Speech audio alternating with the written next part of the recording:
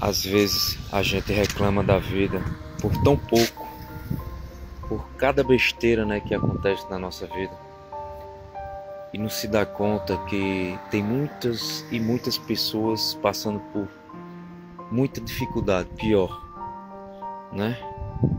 Não se dá conta que tem milhões e milhões de pessoas que passam por cada problema. Eu vendo aqui, essa situação aqui agora. Esse senhor aqui tá aqui na praça com sua bicicleta, dormindo, né, tal, com suas coisinhas, no relento. Só sabe Deus o problema que ele tá passando, né? Cada um carrega seu problema. E você que vive reclamando, reclama não. Não reclama não, pelo amor de Deus. Agradeça. Porque tem tantas e tantas pessoas piores Olha aí. Essa é uma delas. Pior do que você. Você tá aí, de certeza, na sua caminha, no seu aconchego, né?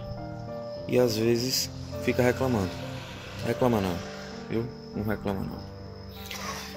Vou agora dar uma sopa a ele, perguntar se ele quer uma sopazinha, né? Pelo menos uma comidinha, né?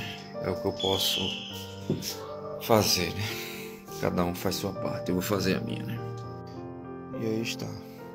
Dei uma sopazinha a ele para saciar a fome, né?